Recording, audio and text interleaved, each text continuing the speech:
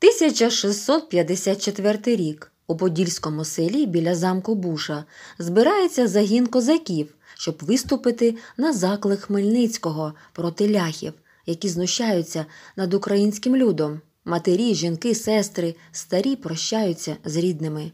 Похід благословляють у церкві. Свередиха, у якої від рук шляхти загинула вся сім'я, окрім одного онука, роздає зброю, інші їжу, амуніцію. Орися, дочка сотника, нудьгує, бо пішов на війну і не повернувся її коханий Антось. Колись батько знайшов непритомного хлопчика в лісі, виходив і виховав його, як рідного. Діти росли, як брат із сестрою, а потім у їхніх серцях спалахнуло кохання. І раптом почулися крики троє юнаків билися з ляхом. Безрукий дід Шрам ще й вистрелив у нього і поранив. Коли лях упав, Орися і сотник впізнали Антося.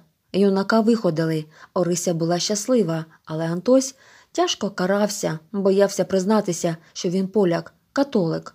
Коли його поранили в бою, магнат впізнав у ньому сина покійного князя Петра Порецького. І раніше Антось трохи пам'ятав своє дитинство в замку, але сотник, завісний, який його знайшов, запевнив, що він козацький син, і в замку був у неволі. Нарешті Антось зважився і признався Орисі, хто він. Дівчина сказала, що між ними тепер нічого бути не може. Він ворог України і її особистий теж. Юнак умовляв, говорячи, що чвари розводять ксьонзи та попи, а простий народ тут ні до чого. Бідні поляки теж страждають від гніту панів. Та Орися була несхитною, переконаною, що не можуть бути в мирі пани і селяни, католики і православні. Віковий печальний досвід це підтверджує. Антось каже: невже я ворог тим, що не кляну отчизни і віри предків? Запевняє, що любить Україну як другу неньку. Два роки він шукав знані і розуму і почув від мудрих, що щастя всіх людей у лагоді, у братстві, у освіті, що віра то тоді святіша річ, коли вона любов і згодою сіє. Приходить звістка, що козацький загін увесь разом з наказним гетьманом поліг під Кам'янцем через якусь зраду. У пишному палаці Порецьких зібралися шляхтичі. Жінки зацікавились молодим князем, кожна прагне здобути його увагу і прихильність, особливо ядвіга. Антось ходить сумний, не може викинути з голови Орисю. Говорить про те, що треба народам нарешті порозумітися, припинити кровопролиття. Але його не лише не розуміють, а й піднімають на кпини, навіть вважають бунтарем і зрадником. Чернецький забирає його до війська, яке вирушує придушувати правовірних. Богун посилає наказ, щоб укріпили замок Буші і трималися якомога довше, поки його війська з'єднаються з військами Хмельницького. Ведуть ляхів люті вороги України, Потоцький та Чернецький. До замку прямують біженці, жінки з дітьми, старі. Орисі доручають командувати обороною замку, а всі чоловіки, старий сотник завісний, поранений Вернигора, Хорунджі Денис, онук, Сверидихи та інші стали на захист підзамкового містечка.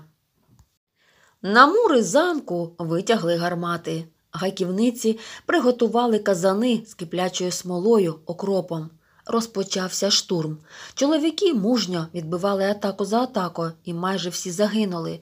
Старого сотника взяли в полон, обіцяли закатувати, якщо замок не здасться. Тоді Вернигора, жаліючи свого командира, вистрелив у нього.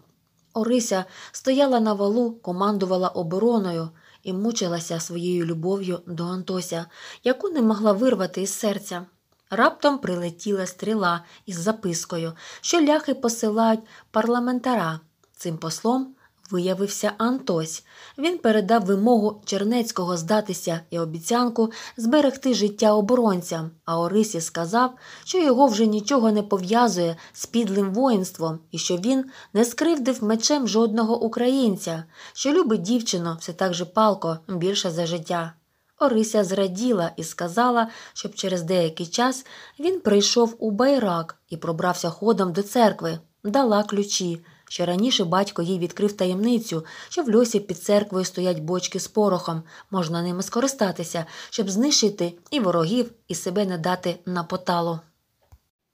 Орися зі стягом вибігає на чолі жіночого війська, б'ється мужньо і вправно, як орлиця, але сили нерівні. Дівчинка йде до льоху разом із Катрою вони налаштовують бочки для підриву. Катря йде нагору, щоб подати сигнал, коли збереться найбільше ворогів. І Орися очікує Антося, і той приходить. Він готовий віддати разом із нею життя. Закохані переживають хвилини неймовірного щастя. Катря подає сигнал, і Орися кидає палючий смолоскип у бочку з порохом. Історико-романтичну повість Старицького оборона Буші називаючи історичною драмою. У творі порушуються важливі проблеми війни і миру, порозуміння українського та польського народів, соціальної справедливості. У романтичному дусі змальоване кохання сотників Ніорисі, яка очолила оборону Буші, і польського князя Антося, який хотів миру і злагоди між їхніми народами та людьми різних віросповідань.